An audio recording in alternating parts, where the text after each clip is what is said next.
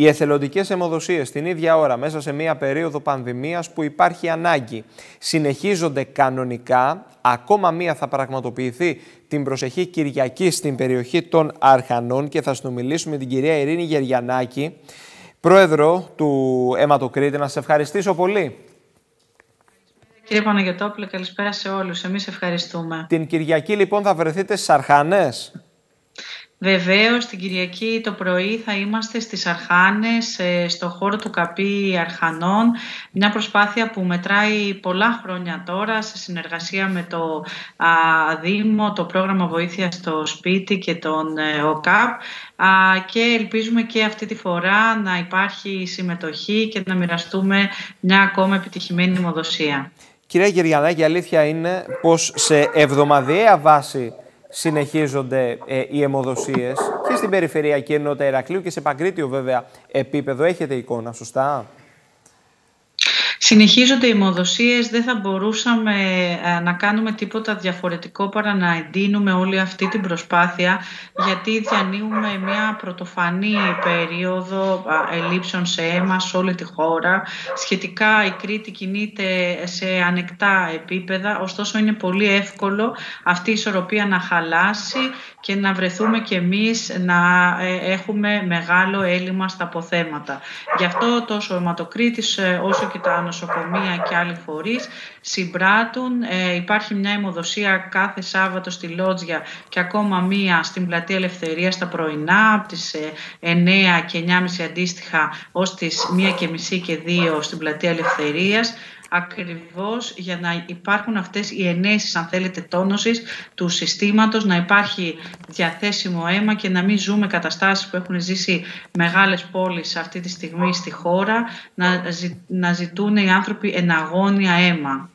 Η ανταπόκριση των πολιτών στο κάλεσμα που απευθύνεται σε εβδομαδιαία βάση για εθελοντική αιμοδοσία σας αφήνει ικανοποιημένους και ποιες ηλικίες ανταποκρίνονται περισσότερο; Νομίζω υπάρχει μια ικανοποίηση. Φυσικά κάποιες αιμοδοσίες έχουν ε, συγκινητική συμμετοχή, όπως ήταν ε, αυτή πριν από λίγες μέρες στα Ανόγια ή στις αιμοδοσίες του κέντρου.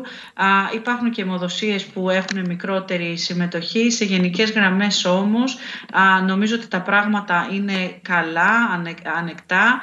Ε, νομίζω ότι οι νεότερες ηλικίες και αυτό είναι το παρήγορο, έχουν μία αύξηση στην προσέλευση και πραγματικά αξίζει ένα μεγάλο μπράβο σε όλους τους αιμοδότες γιατί παρά τις δυσκολίες των καιρών, παρά τις, ε, τα, τα μέτρα και ε, όλη αυτή την κατάσταση που μας δυσκολεύει όλους προσέρχονται, δίνουν αίμα και το κάνουν με μεγάλη χαρά και πάντα βέβαια προσέχοντας και τηρώντας με ευλάβεια όλα τα μέτρα προστασίας και υγιεινής. Ε, να μας πείτε λίγο πού κατευθύνεται αυτό το αίμα, σε ποιες περιπτώσεις, σε ποιες κατηγορίες ασθενών κατευθύνεται; Ε, οι κατηγορίες των ασθενών θα μπορούσαν αδρά να χωριστούν σε δύο μεγάλες ε, κατηγορίες. Είναι οι ασθενείς που χρειάζονται ε, αίμα σε πάγια βάση. Ας θυμηθούμε τους ανθρώπους που πάσχουν από μεσογειακή ανεμία. Πρόκειται ε, για άτομα που ίσως και από τη γέννησή τους χρειάζονται αίμα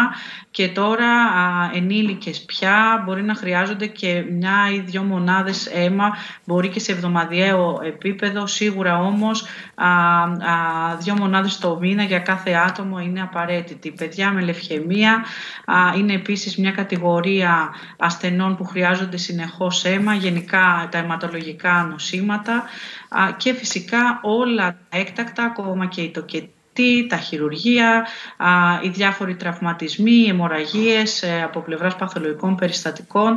Είναι μεγάλη λίστα δυστυχώς και είναι πολύ ασθενείς και μαζί με αυτούς οι οικογένειές τους που δεν θα πρέπει, ξέρετε, να επιτρέπουμε τη σημερινή εποχή και ακόμα και υπό αυτές τις συνθήκες της πανδημίας να βλέπουμε ανθρώπους που δεν τους φτάνει πραγματικά το πρόβλημα που αντιμετωπίζουν αλλά να τρέχουν να αναζητούν αίμα, να αγωνιούν και οι ίδιοι και οι οικογένειές τους.